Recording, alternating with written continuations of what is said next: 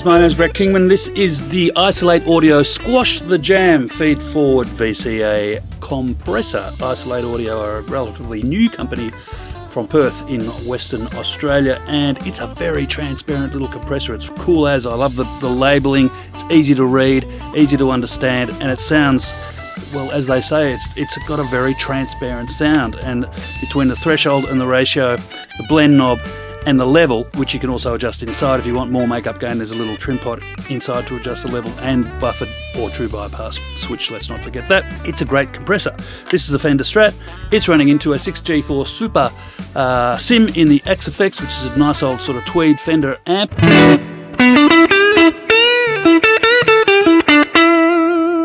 We switch this guy on.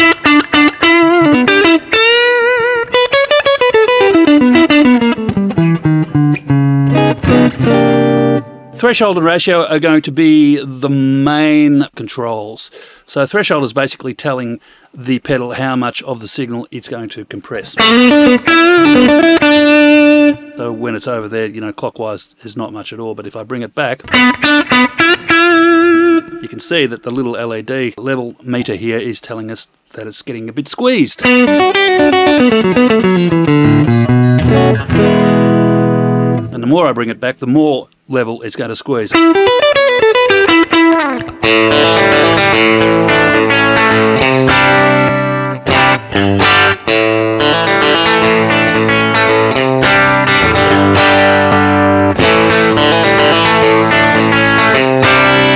Then you can determine the amount of compression with the ratio knob here, which will go from basically no, comp no compression at all, or a ratio of 1 to 1, all the way up to limiting.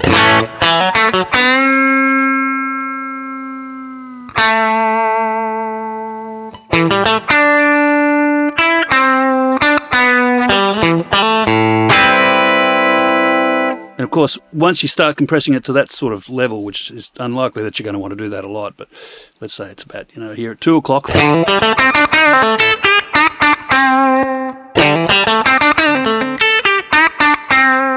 You may want to use the level control to dial in what's known as makeup gain, and makeup gain is basically going to bring it back to the volume you want after it's been compressed. So if we've got it at nothing,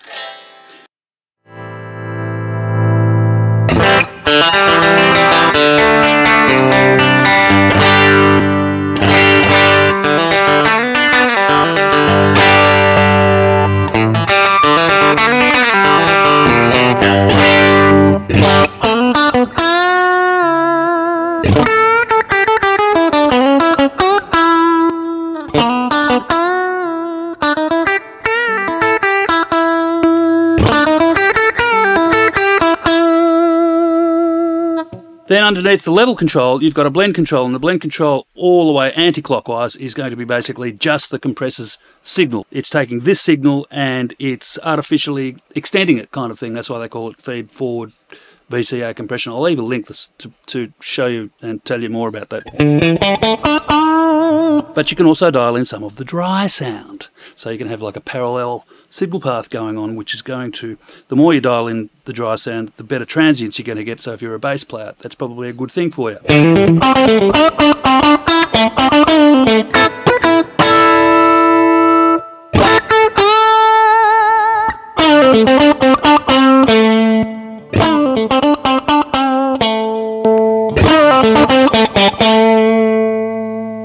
Bring it back, the more compression signal we're going to get.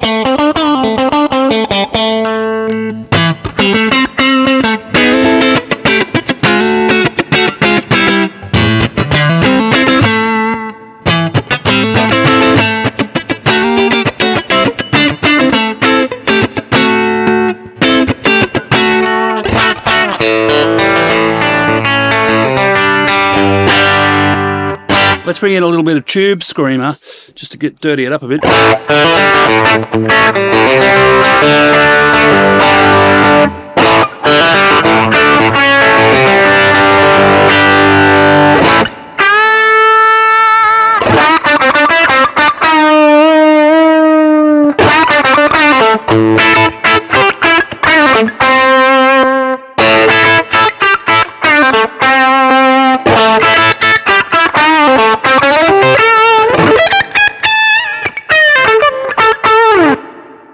Great. It's you know, it is actually totally transparent. Let's have a listen with some humbuckers. And today's humbuckers are brought to you by this Charvel PA28 Prashant Aswani Signature Edition, which has got some A3 PAF style pickups in the back. And I'm running now into a very clean Archon, a PRS Archon.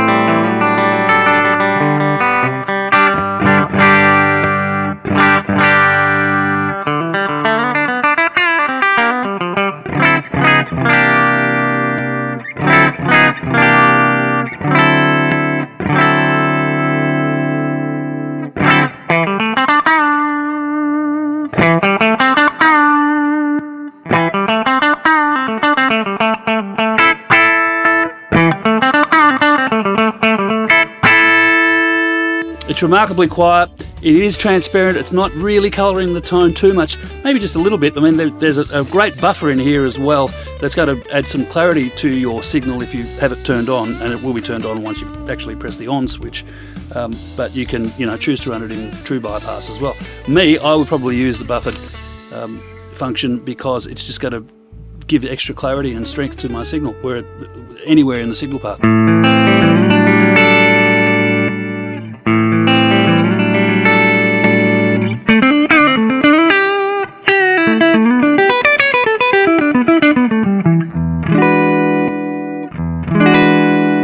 It's quite beautiful, and I look forward to seeing what else the Isolate Audio guys can come up with in the future. But for now, this is their, uh, as far as I know, their sole offering the Squash the Jam feed forward VCA compressor. Very good. 10 out of 10, guys. See ya.